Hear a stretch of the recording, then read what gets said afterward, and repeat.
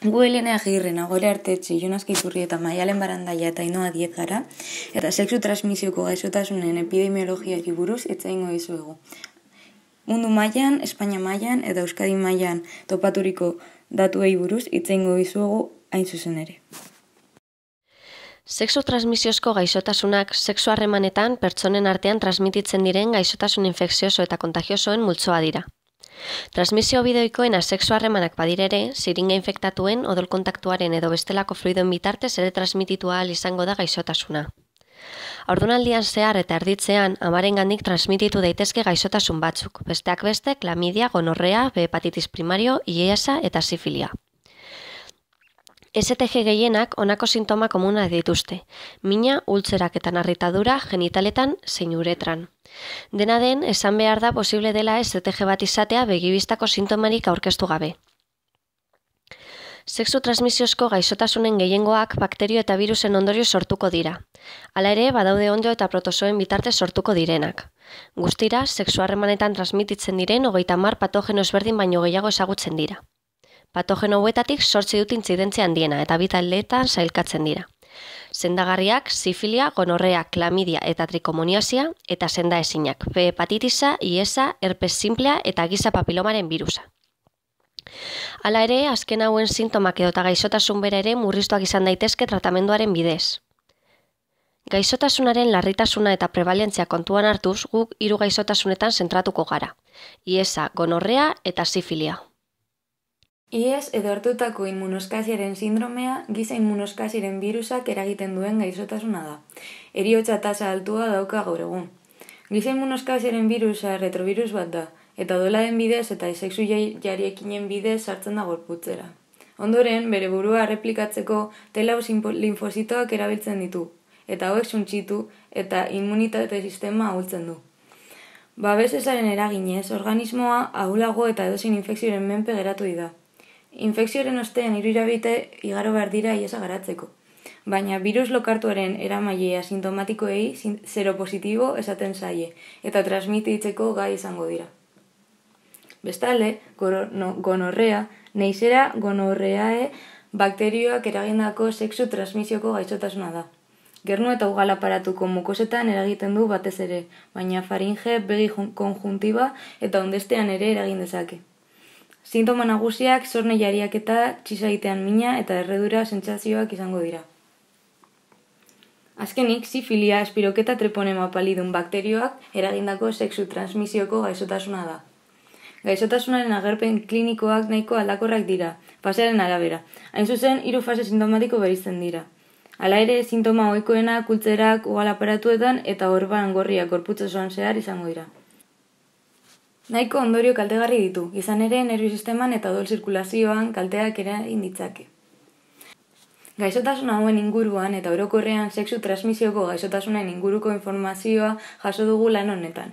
Euskal Autonomia Arkidegoan sexu transmisioko gaixotasunen epidemiologia deskriptiboa eta evoluzio historikoaren analizia egiteko asmoz. Bide batez, galdera hauei erantzungo diegu. Zein da sexu transmisioko gaixotasunen impactua Euskadi mailan? Eta datuak existitzekotan, desberdintasunak genero eta edo talde sozioekonomikoen arabera edo herrialdearen arabera. Zein da sexu transmisio gaixotasunen evoluzio historikoa azken urteetan eta etorkizunerako joera? Beste herrialdeekin alderatuta nola gaude?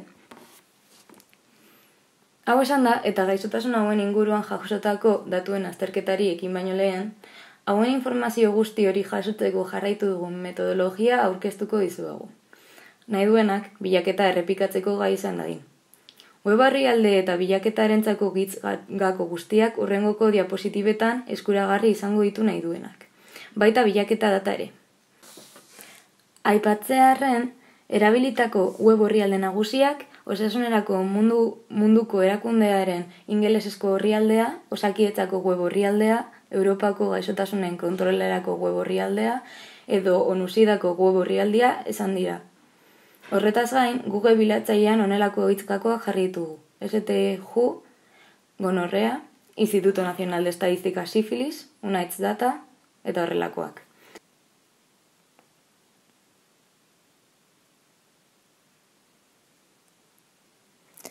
Orain bai, topaturiko informazioa aurkeztuko dizuegu.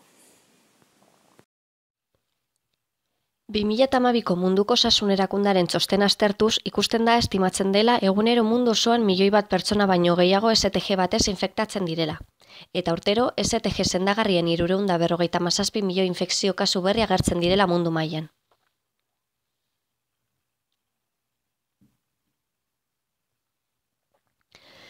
Urrengo grafikoan ikusten denez, STG inzidentzia handiena mendebaldeko Pasifikoan dago, alde nagusia erakusten duelarik beste zonaldekin alderatuz. Ikerketa epidemiologikoen emaitzak sexuk astertuz, mundu mailan zein Europan, ikus daiteke populazio orokorrean sexuak ez daukala eraginik. Aldaketa txikiak ematen badira ere eta gazteetan emakumetan intzidentzian diagoa bada ere, oroar ez dago ezberdintasun nabarmenik bisexuen artean. Sexu transmisiozko gaixotasunen arrisku faktorei dagokionez, esan behar da nerabeak, sexu langileak, toksikomaniakoak eta sexu harreman ugari eta pertsona desberdinekin dituzten pertsonek prevalentzia handiago erakusten dutela. Azpimagarria da, nerabeetan STG-en intzidentzia bikoizten dela eta nesketan proportzio handiagoan gertatzen direla adina hauetan. 2008ko osasun txostenei erreparatuz, gaur egun mundu mailan giza inmunoskasiaren virusarekin infektaturiko geita masei milioi pertsona bizi direla estimatzen dela esan dezakegu. Eta hori dela eta mundu mailako emergentzia daukagu iesa. 2008an bakarrik, bat koma milioi pertsona infektatu ziren giza inmunoskasiaren virusarekin, eta milioi bat pertsona inguru hil ziren iesanen ondorioz. Mapa honetan, gibaren prevalentzia ikus dezakegu, eta irudietan ikusten den bezala Afrika da infektaturiko pertsona gehien daukan eskualdea. Gibaren prevalentzia eta intzidentzia denboran zehar astartuz gero, prevalentzia gora egin duen enean, intzidentziak berak egin duela ikus daiteke. Hau da, urtero jende gutxiago infektatzen den arren, gero eta jende gehiago bizi da gibarekin. Iesa, helduen artean infekzio ondoriozko eriotza kausa nagusia da gaur egun mundu mailan eta berriro ere Afrika dago gogorren jotzen duen eskualdea. Demoran zehar, Iesak eriotza gehien erregistratu zituen garaia 2000ko hamarkada izan zen. Arrezkero urteko eriotzko burua murrizten joan da, eta badirudi 2000 eta hogeita marrean, laureun mila pertsona baino gutxiago hilko direla iesaren ondorioz. Ikerketa epidemiologikoen emaitzak sexuka aztertuz, ikus daiteke populazio orokorrean sexuak ez daukala eraginik. Gazteen artean, nesken artean giba hartzeko joera handiagoa dirudien arren, ezin dugu esan estatistikoki esanguratsua denik. Bien konfiantze tarteek elkarikutzen dutelako. Euskal Autonomia Arkidegoan 2006an, eunda berrogeita mazortzi gib kasu berri jakinarezi ziren 2008an, kopurua antzerakoa zelarik.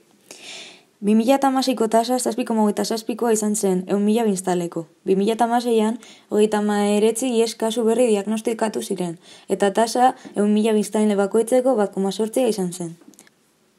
Kasu berrien artean, gehiengoa gizonezkoak zirela esan beharra dago, behezkerreko pastel grafikan ikus daiteken bezala. Ikusi da, hainbat gizarte talden artean, gibaz kontajetzeko aukera handiagoa dela. Ondoriko populazio hauetan, gibaren kutsaketa aukerak handiagoak dira populazio orokorrean baino. Alde batetik, drogak kontsumitzen dituztenen artean, beste aldetik, emakumezko sexu langileen artean, eta azkenik, gizonekin harreman sexualak dituzten gizonen artean. PowerPointean ikus ditzakezue honen inguruko datuak.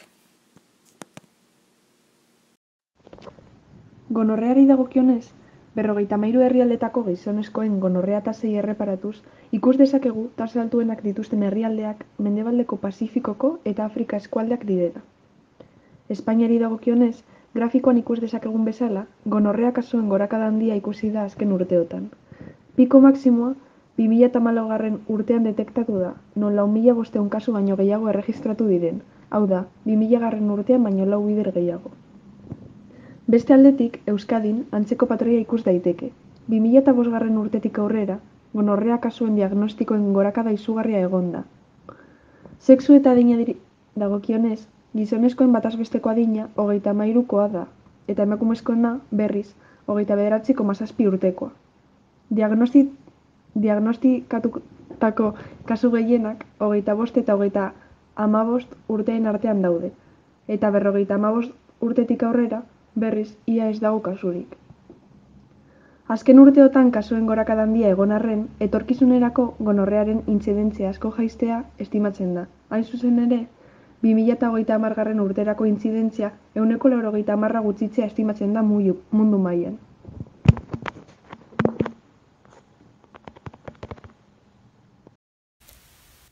Urtero munduan, bost milioi sifili kasu berri diagnostikatzen dira.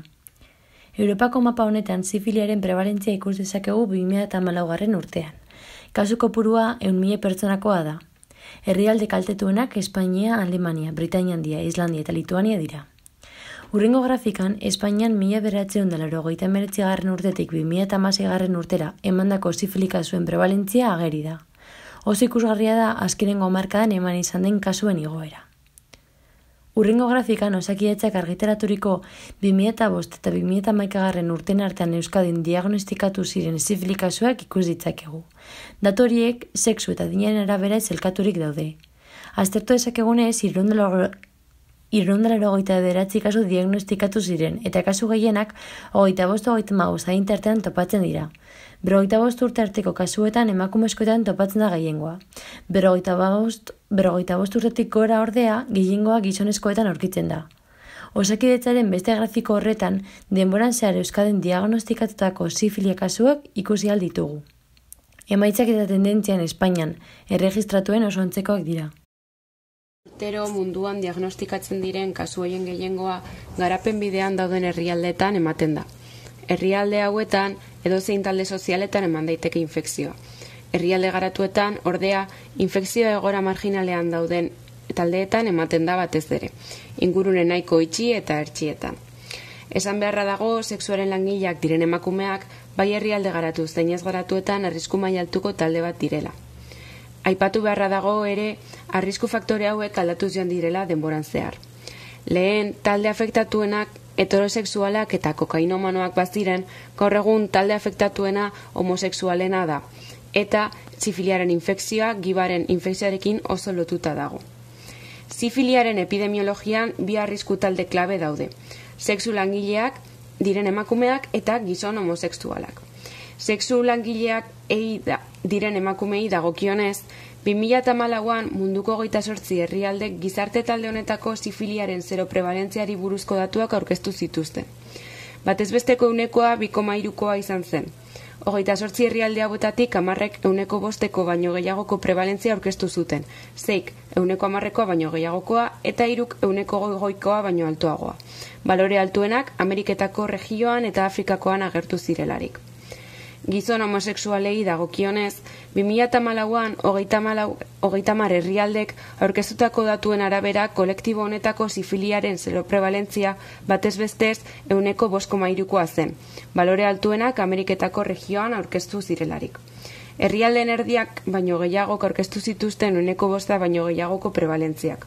Hauetako zazpik euneko amarrekoa baino altuagokoa eta hauen artean bik Bolivia eta Panama euneko geikoa baino altuagoa.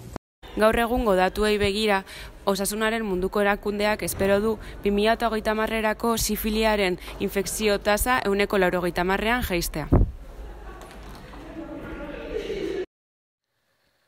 Eztabaidari dagokionez, esan behar da aurkitutako datuak gure eskura dauden iturrietatik lortu ditugula. Beraz, izan daiteke gure eskuraz dauden bestelako ikerketak edo datu basak egotea informazio guneratuagorekin. Horrez gain, mundu mailako ikerketetan herrialde askok ez dute parte hartzen eta horrek sesgoa egoteko arriskoa handitzen du.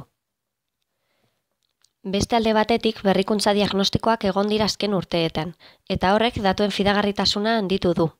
Adibidez, sifilia eta iesaren detekzio goiztiarrerako froga askarrak eta gaizotasun ezberdinen transmisio vertikala ekiditeko arriskoan dauden jaio berriei egindako froga diagnostikoak. Teknika berria, berriei esker diagnostiko askartu eta pronostikoa hobetu da. Amaitzeko, ondorioak aztertuko ditugu. Alde batetik, ondorio nabarmena da, azken urteotan, sexu transmisioko gaixotasun tasak izugarri handitu direla. Beste aldetik, mundu mailan herrialde azpigaratuetan tasak herrialde garatuetan baino asko handiagoak dira. Honen arrazoia, higiene, ezagutza eta baliabide falta da.